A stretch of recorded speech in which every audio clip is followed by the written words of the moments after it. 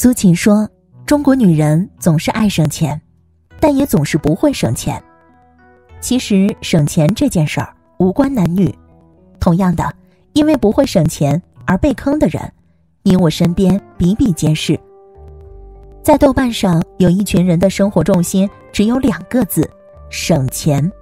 他们加入各种节俭抠门省钱组、薅羊毛组。”每天费尽心机，只为了把一分钱掰成两分花。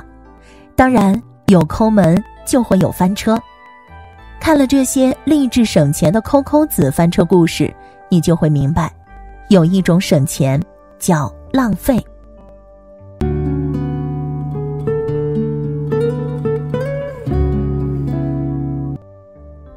省钱会浪费更多时间和钱。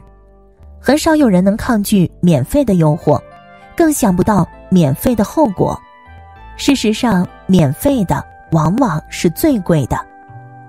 有人可以耗费两三天，发动各位好友砍一刀，只为了免费领那八十八块的红包。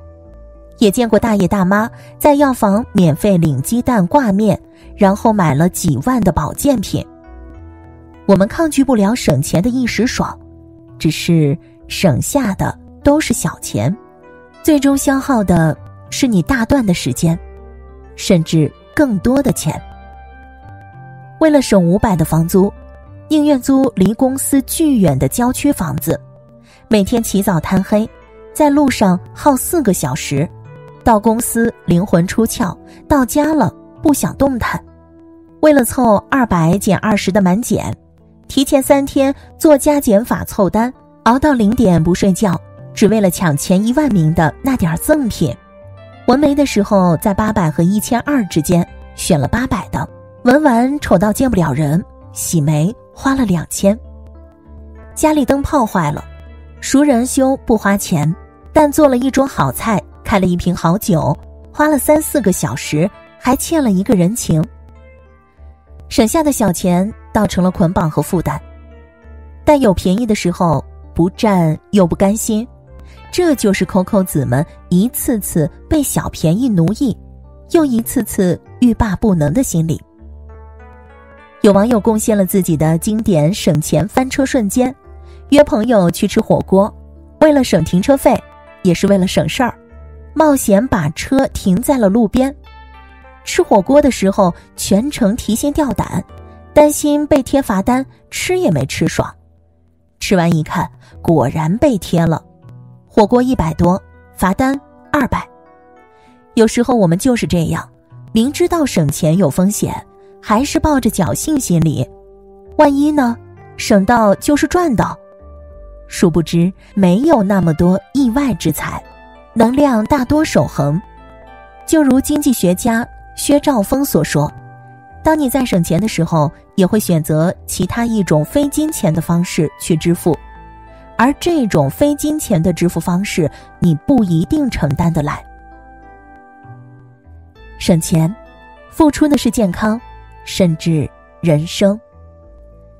因为一时的短视，图省钱一时的快感，浪费时间和钱都还不算什么，还有人因为抠，搭进了自己的健康。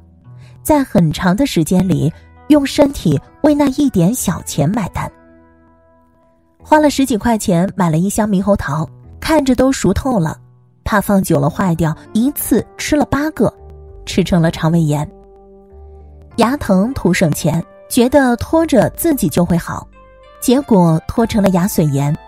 根管治疗一套下来一共三千多，为了满减点了两份外卖。担心浪费，就几乎全吃了。吃完犯了老胃病，还在养胃。这些事儿看起来跟段子一样好笑，但都是省钱背后真实的辛酸。他们并非真的缺那一点钱，但就是忍不住站在钱包那一边，不省不舒服，跟自己对着干。省钱的苦，最后还是要身体来扛。但这些其实都还好。毕竟还有人因为贪便宜妻离子散，改变了人生。知乎答主叶雪分享的故事，就这么戏剧化。同事已婚且有孩子，但常常流连风月之地，一次吹嘘遇到了一位小姐，不为她的钱，只因折服于她的魅力，献出了不少免费服务。但谁知这位小姐很有手段，一段时间后就说自己怀孕了，一次要挟，闹到了单位，逼迫同事娶她。一番鸡飞狗跳之后，同事竟然还真的离了婚。有些大的人生变故，并不一定酝酿自汹涌的风暴，而来自某个不起眼的决定。也许因为省，因为一次不合宜的贪便宜，一笔小钱。就足够改变一生。高效省钱只有两个原则。之前听过一个说法：想花钱、爱花钱、能花钱、会花钱，是花钱的四种境界。想花钱是欲望，爱花钱是消遣，能花钱是底气，会花钱是智慧。只是大多数人还停留在前三种。并在达到第四境界之前，被盲目的省钱带进坑里。省钱是来自人本性的短视和贪欲，贪小利，贪一时安逸，贪意外之财背后的快感。看起来只是关于钱，背后却关乎一个人的生活观。就像是那句话：“你怎么花钱，就过怎样的人生。”一直记得《三十而已》里王曼妮去买鞋的场景，她要买一双好鞋去游轮上度假，就算肉疼也宁愿花几千买正品，一步到位，也不愿在微商那里买看起来光鲜的高仿。朋友笑他买一双鞋都能买三四双普通鞋了，换着样式穿更好。王曼妮说，一年买四双好鞋就够了。二十岁追求样式。三十岁该追求品质了。他的收入不算多，但每笔钱都必须花在刀刃上，不因为便宜而将就，买就要买自己最想要的，这反而是最高效的省钱办法。所以，最高效的省钱原则只有两个：一，自己不喜欢的，再便宜也不要买。我妈就是那种一看到打折就走不动路的人，一看到促销就战斗力满格。她买过二十块的针织衫，三十块的连衣裙，付钱的时候是这些衣裙的高光时刻，买回来从没穿过。明明不喜欢这些衣服，却忍不住为价格心动。这种心动稍纵即逝，过后就是闲置和嫌弃，除了增加支出，别无益处。二。自己不需要的，再便宜也不要买。什么是不需要？就是不管你现在花不花钱买这个东西，对你的生活都没有影响。千万不要想着将来总有一天会需要，或者高估自己的消耗力，大量囤积，积灰占地的跑步机，化身千面童子都敷不完的面膜，都是血与泪的教训。需要之外都是浪费。记住，有些东西不买立省百分百。所谓会花钱的第四境界就是这样：买一样东西，并非因为它的价格，而是为了它在你心里的价值。宁缺毋滥。你现在花的钱，正塑造着你将来的样子。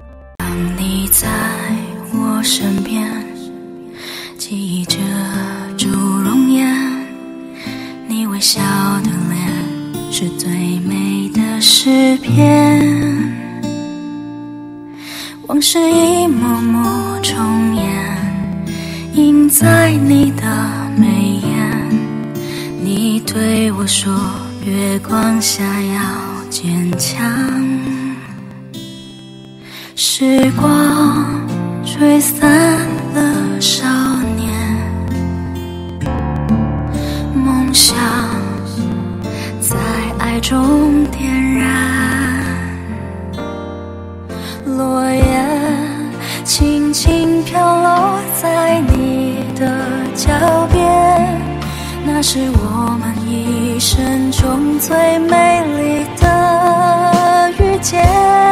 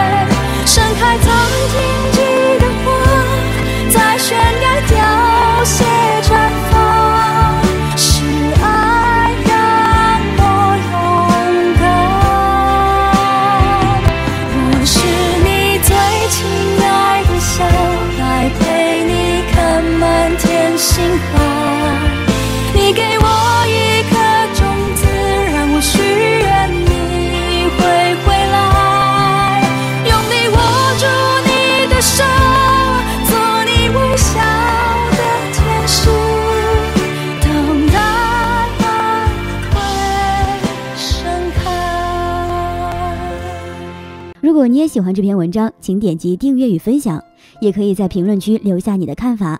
感谢您的收看，我们下期再见。